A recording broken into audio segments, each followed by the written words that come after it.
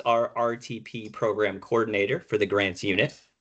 Today's workshop will focus specifically on the RTP motorized program. If you're hoping to learn about the RTP non-motorized program, unfortunately, this workshop is not the one for you eh, because we will not be covering that information today, a part of this program. The next anticipated non-motorized grant cycle, if you're wondering, will be in the fall of 2025. For more information on the non-motorized program, please contact the Office of Grants of Local Services, also known as OGALS, or check out their website for more information. All right, before we uh, dive into the presentation, I would like to introduce a couple special people joining us today. First, it's my pleasure to introduce Sarah Miggins, the Deputy Director of the OHMVR Division. Sarah, the floor is yours.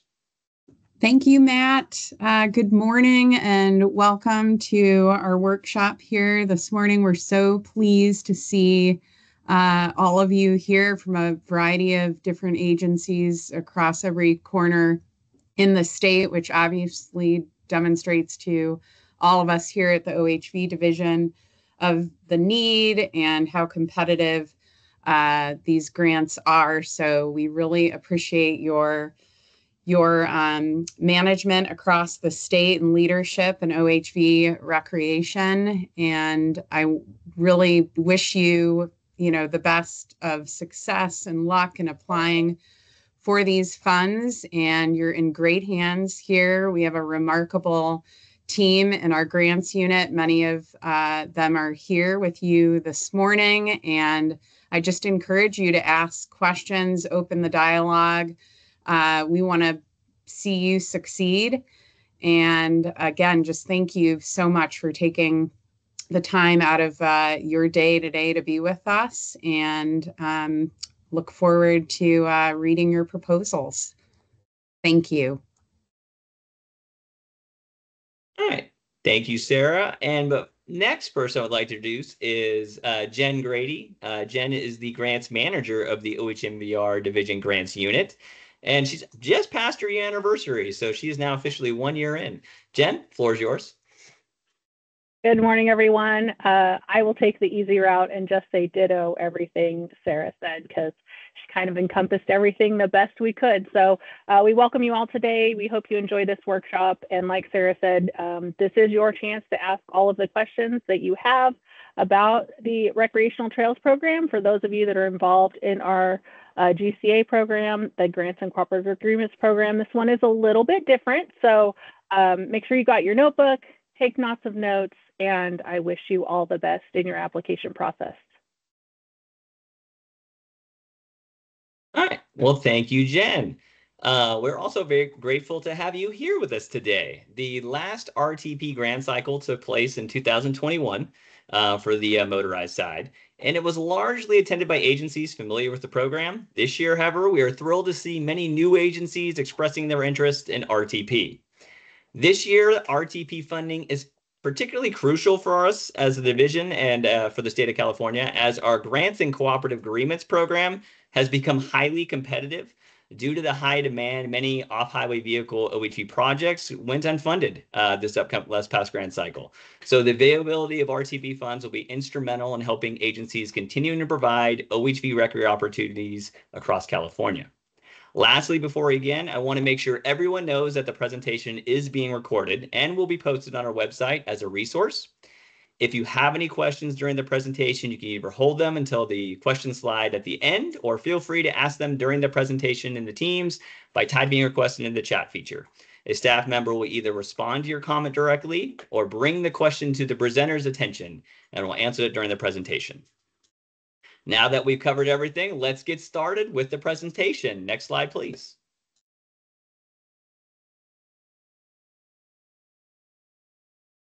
All right, agenda. So today's presentation agenda will focus on a comprehensive overview of the RTP program. The objective of the workshop is to ensure that your agency becomes familiar with the program, understands how it can apply for the upcoming R24 cycle, highlights some of the key differences between uh, differences in the grant administration of the RTP program compared to those that are familiar with our grants and cooperative agreements program We expect this presentation to last around an hour. Uh, during this time, we'll cover quite a bit of information. So if you have any questions, please feel free to ask them in the chat, save them for the end of the presentation, or if you end up having questions or needing assistance after the presentation, please don't hesitate to reach out to the division for assistance, and we'll make sure to provide all our contact information of who to reach out to and where to go. Next slide, please.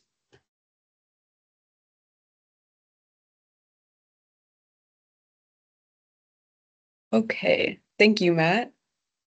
So let's get started with what is RTP? The Recreational Trails Program is a state administered local assistance program of the U.S. Department of Transportation's Federal Highway Administration. The funding is split between Caltrans, the Office of Grants and Local Services, and the OHMVR Division, with the Office of Grants and Local Services administering the non motorized projects and the OHMVR Division administering the motorized projects. Because RTP is funded through the Federal Highway Administration, it is important to emphasize that this program is different from our typical grants and cooperative agreements program. While we do administer the grants for RTP, Federal Highways does have the final say regarding the awarding of agencies, payments, and any project changes. As we go through today's presentation, we will be covering more of that.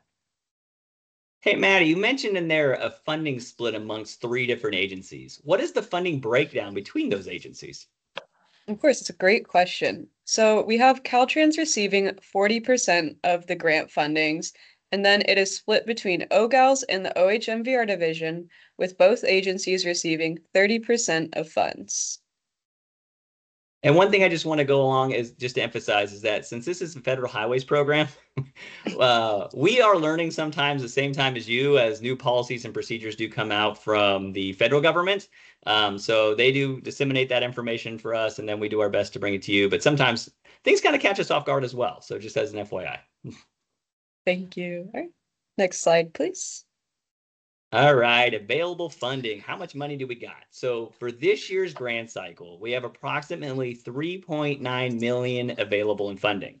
That is not the typical amount of funding for RTP cycle. The program typically receives around 1.4 million in federal funding annually through the bipartisan infrastructure law of 2021. We got an additional 1.4 for this grant cycle since we did not offer a grant cycle last year. And the rest of the funds are coming from awarded R21 projects that the grantee decided not to go forward with the project and return the funds. So we've included those funds in this year's grant cycle. So that's how we got to 3.9. What I think makes RTP unique is that there is no minimum or maximum request for funding, except for education projects, which are capped at 5% of federal funding, totaling around $195,000 for this grant cycle. Moreover, all the project types are eligible for a project performance period of up to three years. That's a significant difference from a grants and cooperative agreements program, which restricts trail maintenance or education projects to one year duration. Next slide, please. Okay. And here we have our eligible applicants, which include cities and counties, districts, state agencies, federal agencies, and nonprofits with management responsibilities for public lands. So, Maddie, when, when can you clarify what that means for nonprofit with management responsibility for public lands? It's kind of a, a tongue twister on that one. yeah, great question. Um, essentially, what that means is a nonprofit organization that has an agreement from a landowner providing them rights to work on that land. This means that your nonprofit agency must have an agency letter available prior to the application process. Next slide, please. All right, for those of you familiar with the Grants and Cooperative Agreements program, the RTP project type titles are a little different, but the activities performed are the same. RTP has six different project types. First one is acquisition, which is the uh, purchase or easement of a simple fee title to the property for recreational trails or recreational trails corridor. The next is development and rehabilitation of trails, trail side, trail side, and trailhead facilities. This project type involves developing or fixing, rehabilitating your current OHV facilities. Next is construction of new trails. Um, but there are restrictions we want you to be aware of that must be met for federal applicants. Uh, federal applicants that plan, uh, applicants who are looking to apply for this project type. One is it's permissible under other law. Two, necessary and recommended by statewide comprehensive outdoor recreation plan that is required by the uh, excuse me, required by the Land Water Conservation Act of 1965 and approved by each federal agency having jurisdiction over affected lands. The next project type is maintenance of existing trails, which is in our GCA program, we call it ground operations. So that's your ground operations project type. Uh, the next one is assessment of trail conditions for accessibility and maintenance. So there is no physical on the ground work needed for this project. Now, RTP does have an option for doing two-phase projects where you include this project activity, and once it has been completed, you get then can conduct the other project types. If your agency is interested in doing that, please let us know because we'll need to follow up with Federal Highways about the specifics of how your agency would apply for that since we have never had a two-phase project in RTP before. So we do know that they have the opportunity for it. We just never really kind of flushed it out how it works with them. So we want to make sure before we go down that route, reach out to us so we can get all the details for you. And the last but not least is education. So this is to develop and disseminate uh, publications and educational programs that promote safety and environmental protection related to trails. This project differs from our GCA program as OHV search and rescue activities are not eligible under the RTP program. Next slide, please. Okay.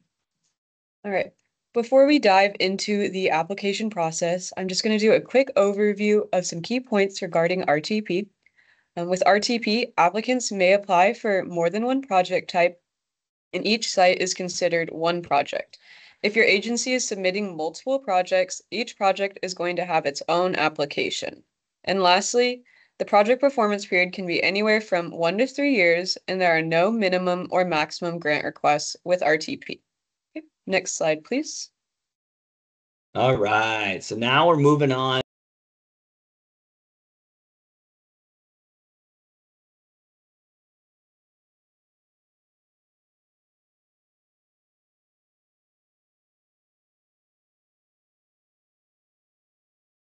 p.m. Pacific Standard Time. All right, Maddie, tough question for you.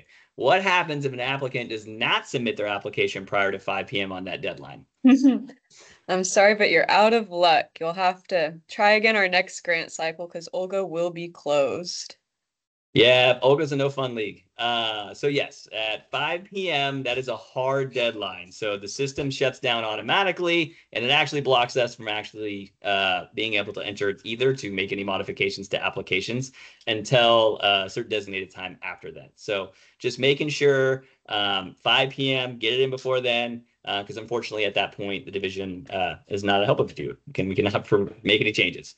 Our website, uh, we have numerous Olga video tutorials to assist you with completing your application.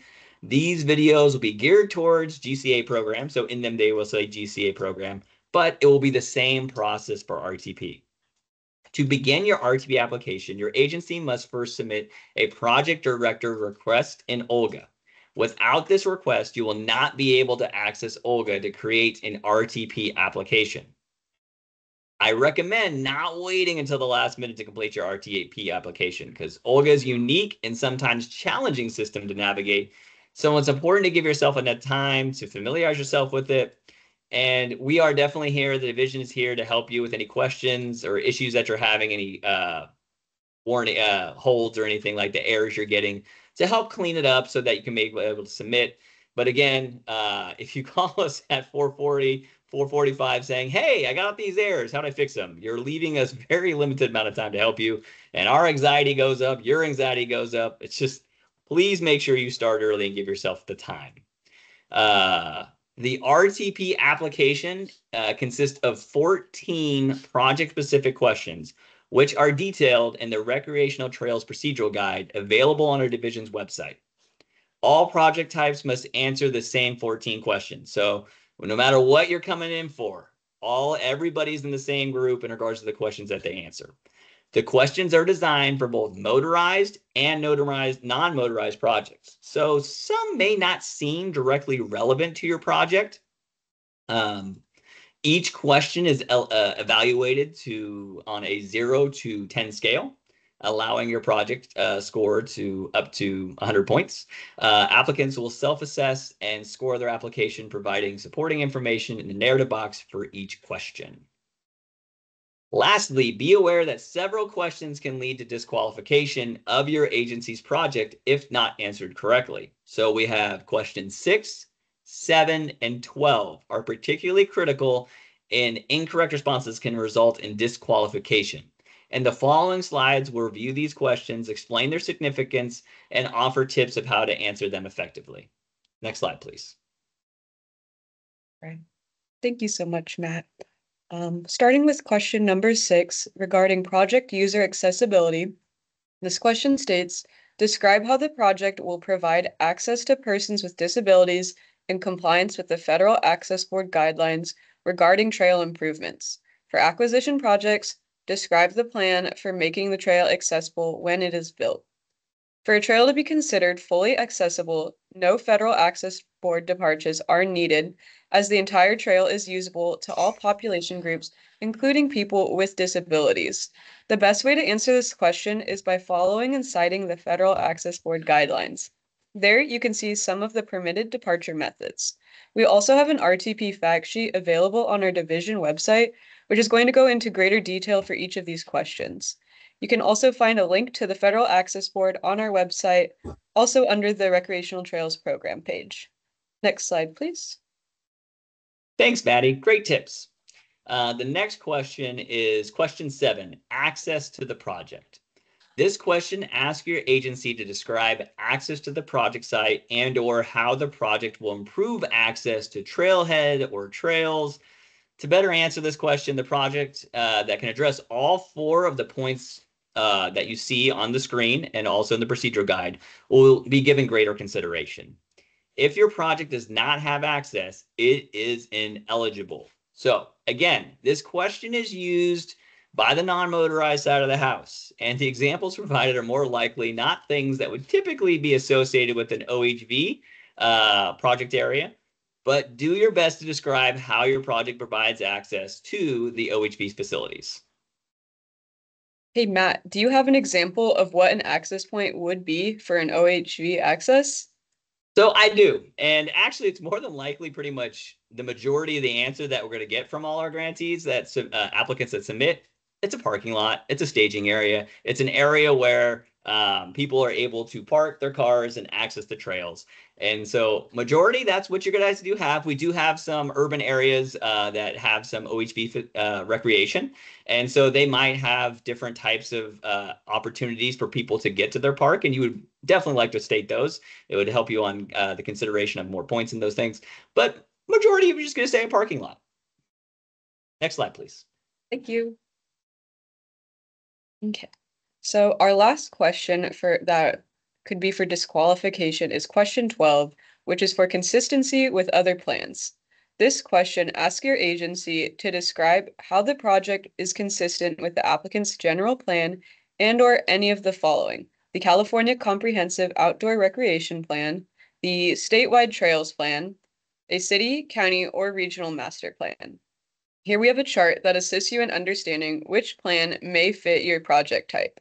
Starting at the top, we have the following. Does your trail project connect neighborhoods to homes, schools, and workplaces? If yes, you will then refer to the California's 2021 to 2025 statewide comprehensive outdoor recreation plan. If your trail does not meet the criteria above, we would want to know if the project will provide trail users with easily accessible trails and accurate information on trail locations and conditions.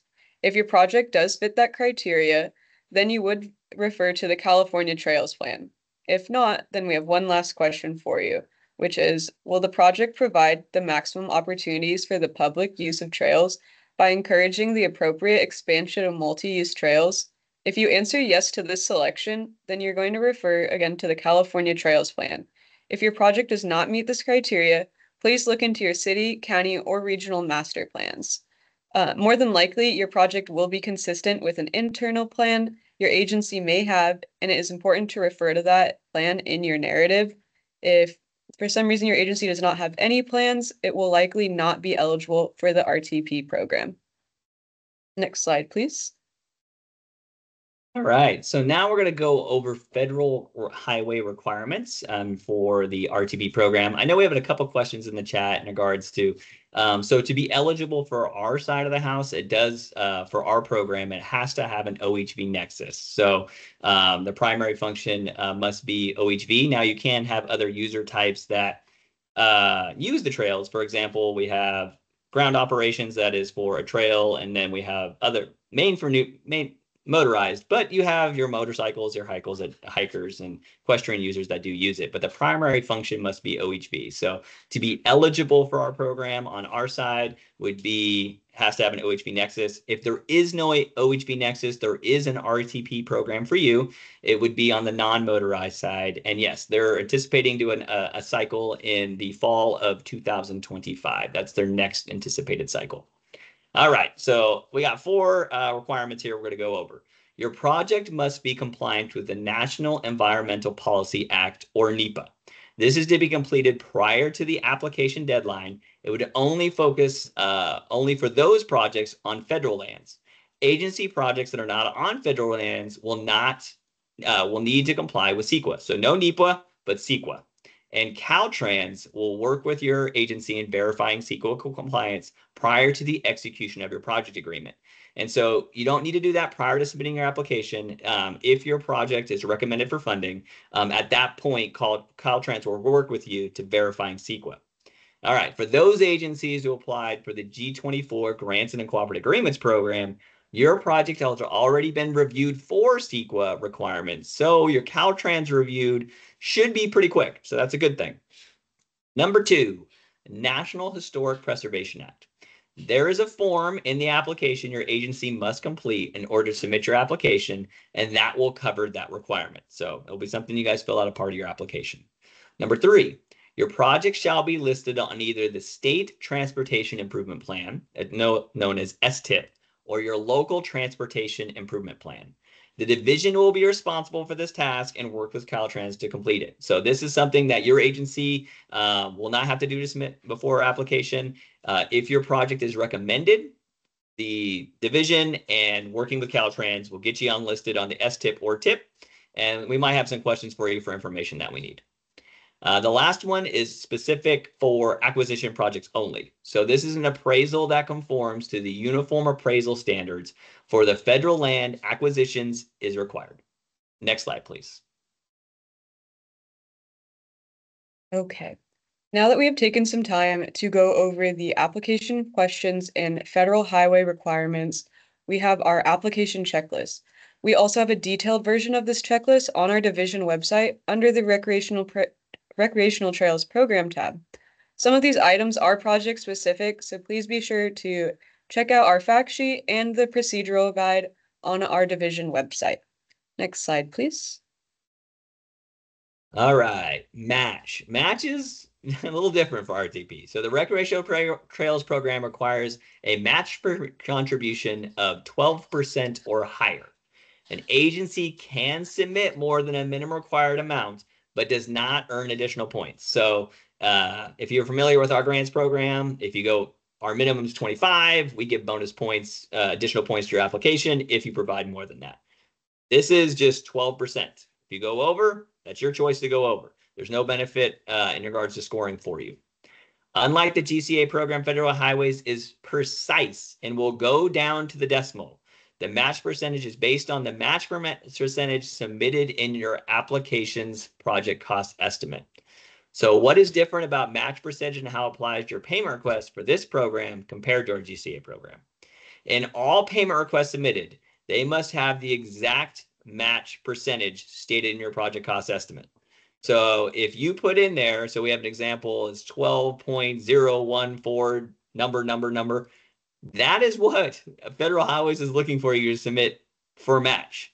And that means on every payment request, you must submit match with it. So you can't, uh, we have agencies that typically do grant reimbursement for the first two payment requests, let's say, and then the last payment request, they pro- provide all the match for the project and they can include it in their last payment request. That will be denied by Federal Highways. Every payment request must have match included and it must match the percentage stated in your project cost estimate. So that uh, it will be something that you have to pay attention to if you're going that way. We'll cover payment requests later in the presentation. So if you have any questions specifically about payment requests, please hold them until then as we may address your questions in the later presentation.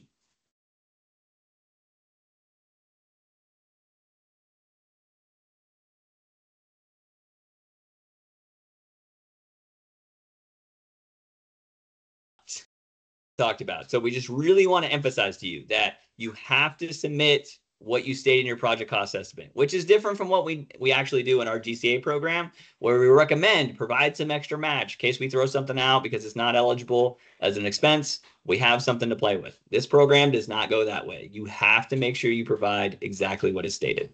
Next slide, please. Okay. So we're going to quickly cover some of the eligible sources for match with RTP. These include state, local, and private funds, also includes state grant funds, general funds, and bonds. Additionally, match may be submitted via donated materials and supplies, the value of donated land, and other federal funds.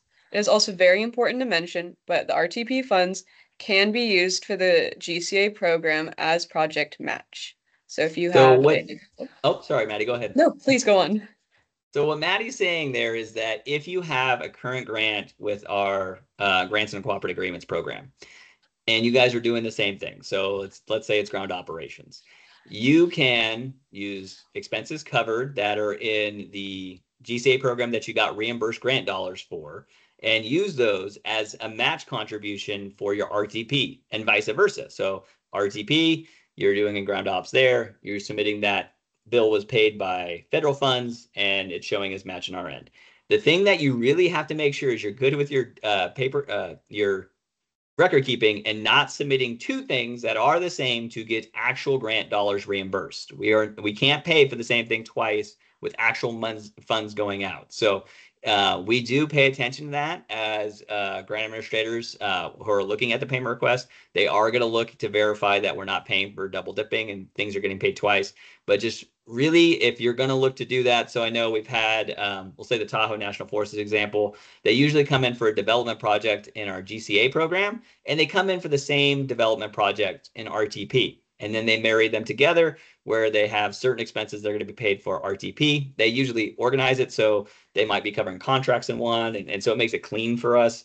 Um, and then they just submit it both ways. So it's a way to cover the match percentages, match requirements for two projects. So it's a cool benefit because federal dollars is allowed in our program as match, and the same as the other way, state dollars is allowed for RTP. So you can look to take advantage of that. You just really need to make sure you're being organized and paying attention to what you're submitting. And next slide, please. The payment request form is available. So this is our payment request. Uh, the payment request form is available on the division's website and in the RTP procedural guide. A sample is shown on the right side of the screen. For those familiar with our GCA program, this form is entirely different, and the form used in the GCA program cannot be used for RTP. So just making sure you guys get into the habit of using the same thing, it you can't. It has to be a separate form, different procedural guide, different uh, requirements. It's crucial that payment requests align with specific total in your agency's project cost estimate match breakdown. So we talked this about this. We're going to go over one more time, which we enter into the Federal Highways RTP table for project management. So once your project is officially approved, we create this cool table uh, for federal highways to track information. We use it as well. Um, that keeps us to a certain standard that everybody's on. And on a payment request, there, if your agency is reimbursed $1,000 and your project's match percentage and your project cost estimate is 12%, you must submit a match of $120 for that project. They're going to go verify that match percentage off the RTP table that was created. It's important to adhere to the match breakdown as Federal Highway Administration will reject your payment request if the match amount is incorrect. Additionally, Federal Highways does not allow, uh, additionally, Federal Highways does allow for advance payments. However, for advances, your, a, your agency must specify the total match that aligns with your match percentage you plan to spend on your first payment request. And your agency must provide all supporting documentation for that match before your agency will be able to receive its second advance. So that is something different. You can't just give a, a rough estimate. You need to be really exact of what your match is and breaking that down because federal highways will request that information. Next slide, please. All right, so this is uh, when submitting your payment request, you need to have some type of expenditure form uh, for uh, the details where the expenses occurred. Uh, beginning with the R24 grant cycle, we'll be using a grant expenditure form workbook similar to our GCA program expenditure workbook, but updated specifically for RTP. This RTP workbook will be available for download on our website. If you're unfamiliar with using the workbook, please don't uh, hesitate to reach out to Maddie or the division for a tutorial to how to complete it. It does a really good job for us uh, giving category breakdowns where your totals were, and it helps us give that precise numbers that we're looking for that Federal Highways is also looking for. So it's a huge tool for us. Next slide, please. Okay. So we have, or the recreational trails program requires a status report to be sent out every six months to agencies with active projects.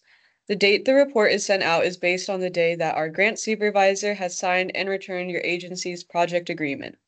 The status report serves the same purpose as the project accomplishment report your agency would submit with your payment request in the GCA program. The status report provides the division and federal highways with an update on the grant scope expenditures incurred so far and activities undertaken during the project performance period. Reports should include photos and maps that support the progress made so far. Failure to return the status report within the 30 day period can result in payment requests and advances being frozen. Since you are completing this form every six months of your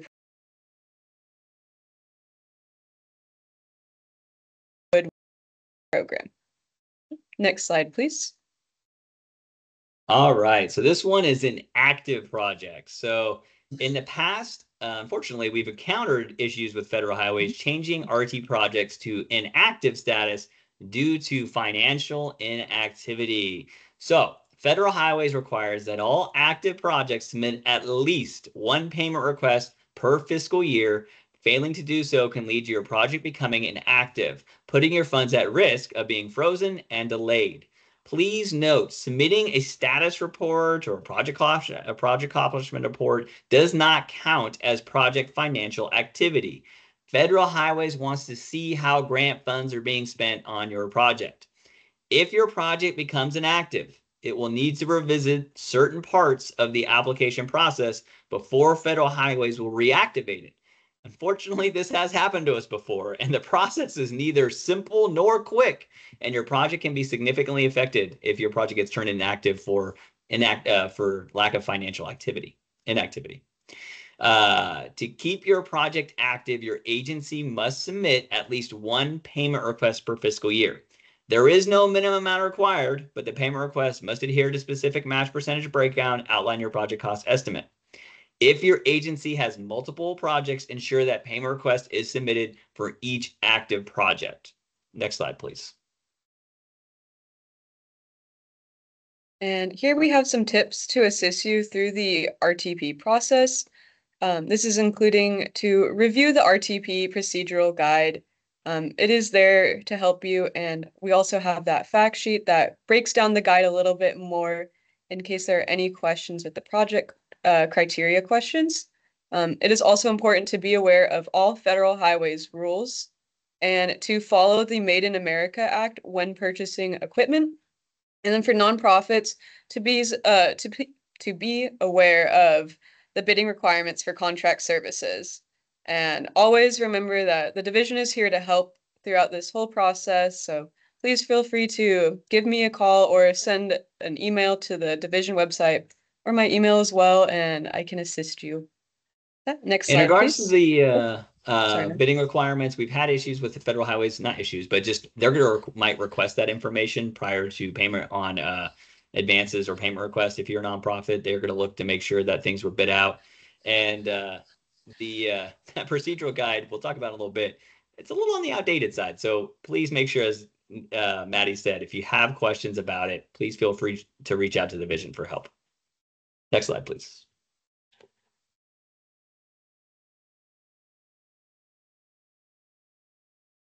Uh, no, in regards to Ashley had a good question. Do materials and supplies also subject to the Made in America requirement? No, for uh, RTP program, what we've been instructed, it's uh, equipment. So if you're looking to buy equipment, it needs to be meeting that requirement. All right, here are some resources to help you apply and manage your RTP project if your project is awarded. Recreational Trails Program Procedural Guide. This document can be found on the division's website under the RTP page. We are currently working with OGALS to update this guide as the current version was created in 2007 and is definitely in need of uh, some revisions. Uh, it is currently combined with the non-motorized projects. That's one thing that's kind of makes it complicated for us. Our plan is to create a separate OHV procedural guide, while OGALS will develop their non-motorized procedural guide. The update is expected to happen in 2025 or 26. We're currently in the process of uh, putting our plans together and, and going, uh, getting it all ready for the Office of Administrative Law, uh, Services to review. Uh, next one, Federal Access Board for Outdoor Developed Resources. This document provides information on ADA accessibility requirements that your agency may want to include in your project. It can be found on the Access Board's website, and you also can check out our website for more details. RTP Division webpage. This page includes a program overview, procedural information, FAQs, and other RTP resources. Last but not least is Contact the Division. This program is unique and it's not something we offer regularly. Um, so that makes it so for your guys' end, it has that you're learning. You're just figuring out how it all works because it's not something you do on a yearly basis. And the same for us. We'll have to maybe uh, follow up with questions with uh, federal highways as well. But if you have any questions, need clarification, or require assistance with your application, please don't hesitate to reach out to the division. You can contact us by emailing the grants inbox at ohv.grants at parks.ca.gov or reaching out to Maddie directly. Next slide, please. Okay. And here we have an at a glance of the Recreational Trails Program grant cycle process. This process is historically longer than the GCA program and funding will likely be available in the fall of 2025. Um, beginning with September 3rd, this is when our applications open in Olga, and you will have until October 18th, 5 p.m. to submit your agency's final application. Once submitted, the division will conduct their review and announce our recommendations for funding on December 9th. At this time, your agency will work with Caltrans to assist in NEPA, the Transportation Improvement Plan, and Section 106. This can take a while, but we hope to have all applications complete the federal requirements by May of 2025. Following the completion of the federal requirements, Federal Highways will conduct a 30-day review of all recommended projects. Well, once they've completed this, they will then be able to begin issuing agencies their grant contracts. Again, these are just dates of an es or sorry, these are just an estimation, and some things may take longer. And next slide, please. So again, I just want to emphasize, uh, if you're looking for funds to be available to you quickly through the RTP program, that is not uh, how this program rolls. It goes through a lot of different hands. Um, so again, we recommend projects in December, and then we'll start uh, federal highways. We'll review those projects, and then once they're recommended, they will then move the next stage of doing Caltrans reviews uh, for NEPA and CEQA and uh, STIP and all that stuff. So uh, last time in 21, what we realized is we made the recommendations in January. Um, we started getting project agreements and appro- formal approvals in June. That was the start of it. But most of them seemed like they were between June and August of when they would get their agreement. So it, it was kind of about a, a six to eight month t- span. So what's cool about it is remember, these projects can go up to three years for all project types. Um, so you can build it out to be a three-year project. And if you end up do getting a grant and an agreement project during that time, it could be a source of match uh, for your RTP and uh, also a source of match for the GCA. So you can have them both running at the same time, doing the same type of project activities. All right. So that wraps up our R24 Recreational Trails Program workshop. Thank you so much for joining us today to learn about the RTP program. We now have time to address questions that you may have. Um, so if you uh, have any questions, uh, look the chat. We're pretty covered on that. Please raise your hand and we'll uh, unmute you so you can ask it.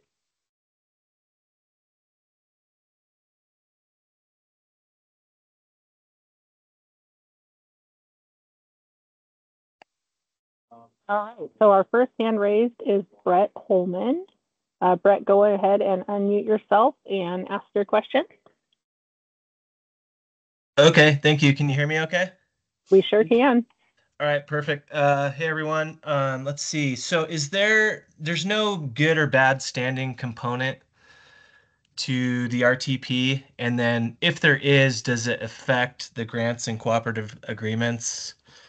Good or bad standing?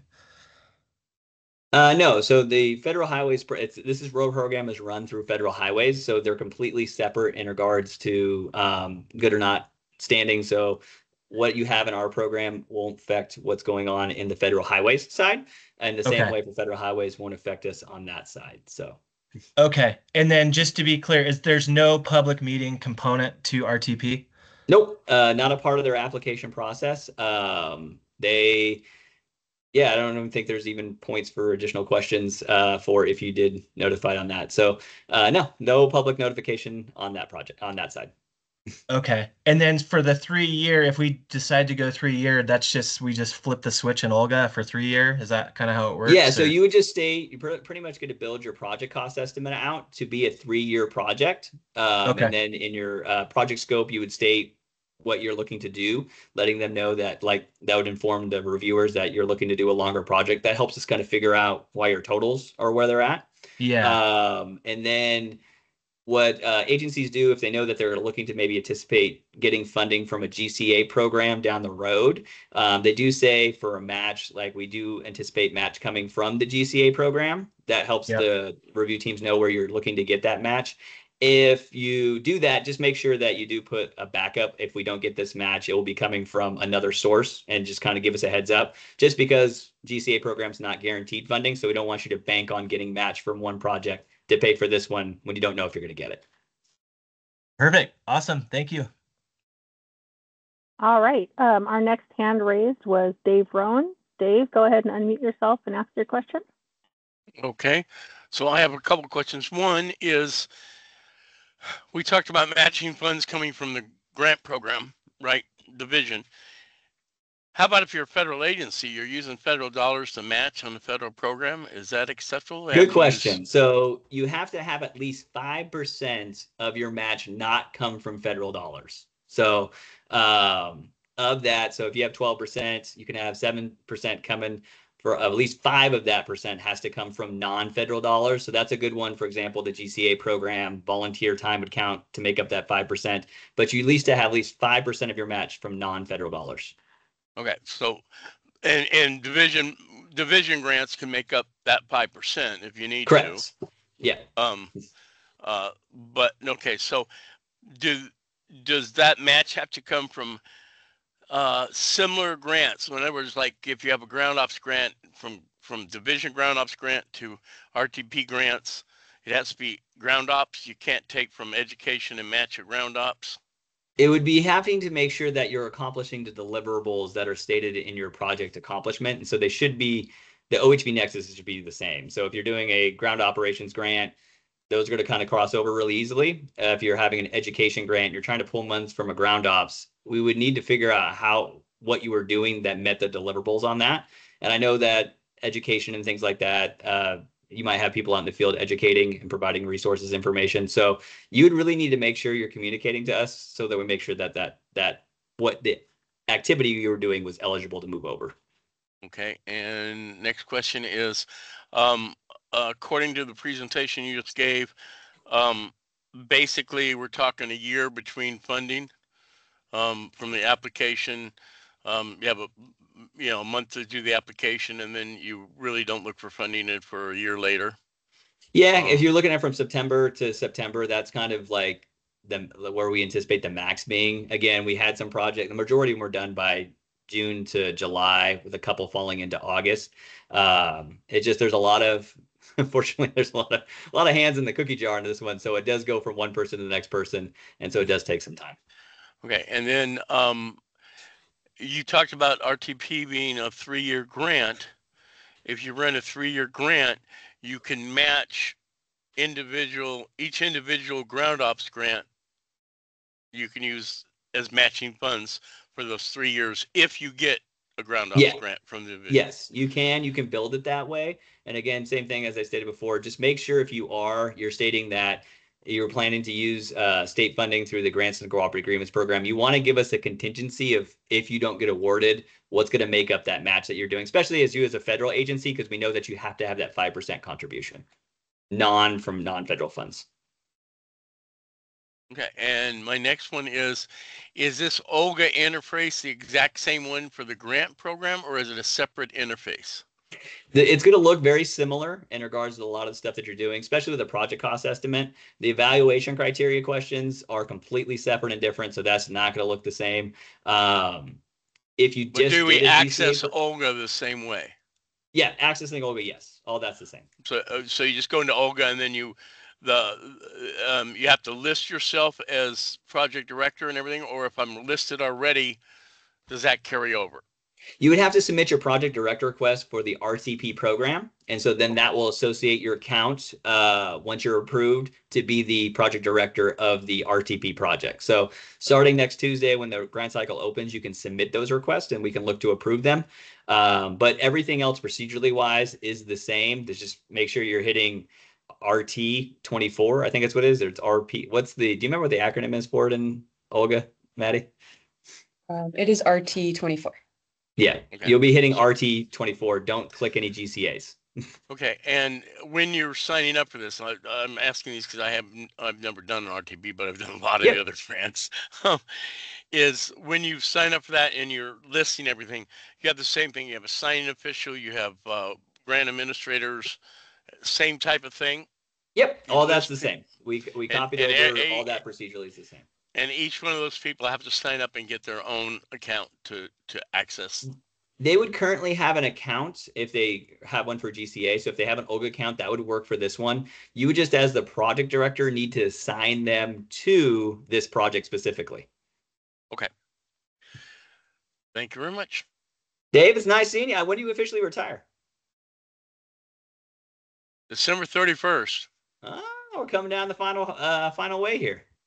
The way, I just as that happened, I was really tempted to show up on the 25 workload just to harass you, but you know, who knows?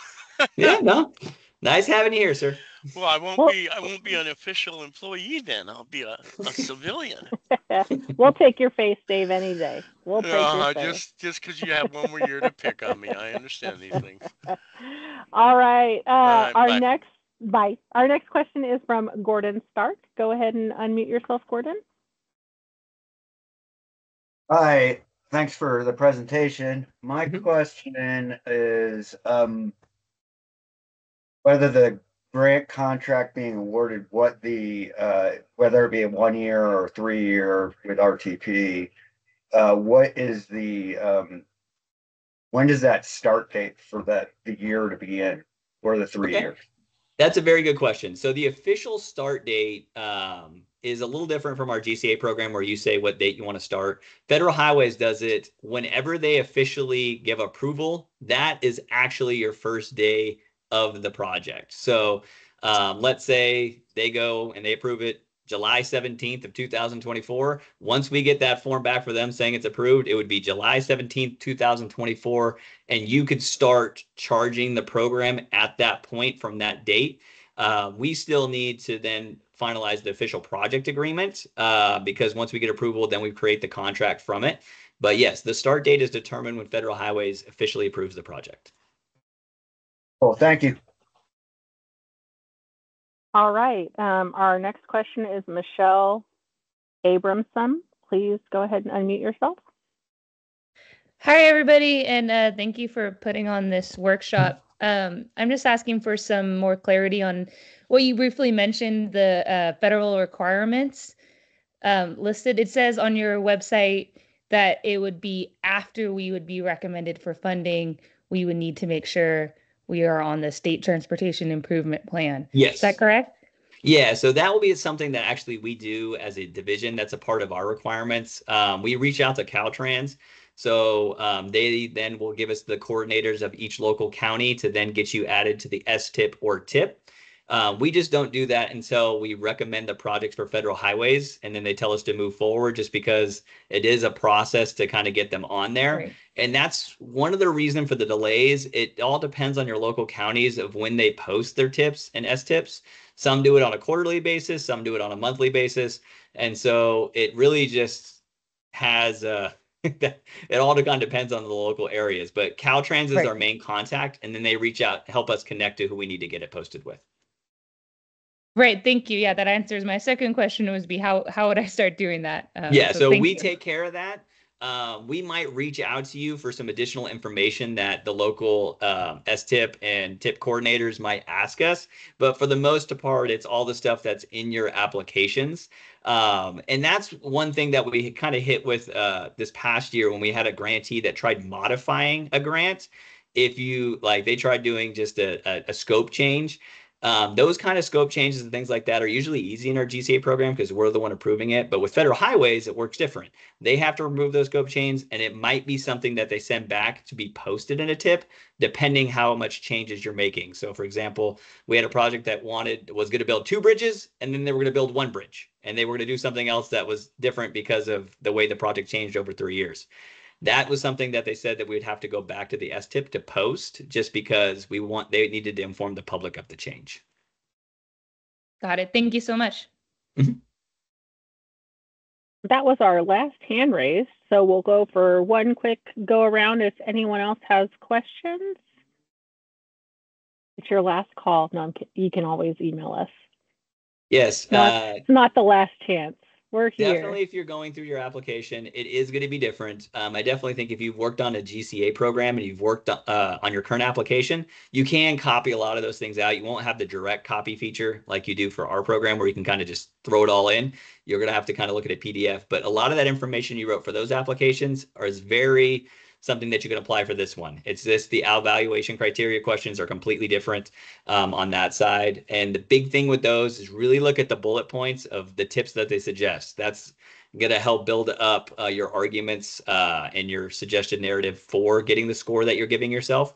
Um, so the review teams do use those uh, for consideration for how they award the points. So.